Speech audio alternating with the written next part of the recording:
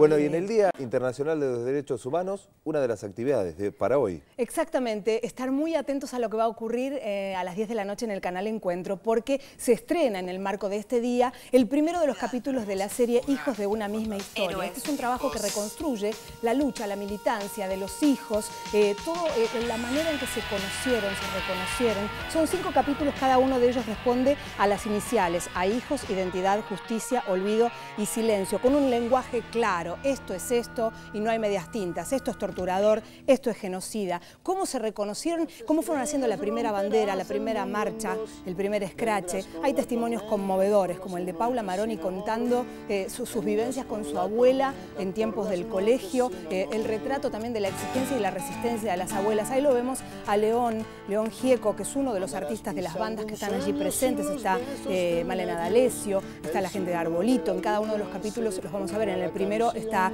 León allí compartiendo con alegría. Como dice la gente de Hijos Capital, que eh, ese fue el combustible. Mientras todo el mundo hablaba de dolor, ellos reconstruyeron este, con alegría. Ese fue su combustible, por supuesto. No se quedaron en la tristeza, ni en la bronca, ni en el dolor. De hecho, en uno de los pasajes eh, importantes y motivos de este documental de la primera entrega, se ve esto contar. Íbamos en la primera marcha, dice, y veíamos que la gente nos miraba, aplaudían y lloraban. Hijos, que somos todos, hijos de una misma historia, es una cita imperdible. Esto es a las 10 de la noche de hoy. La semana que viene ya será a partir de, las, eh, de los días martes a las 9 de la noche. Hijos de una misma historia.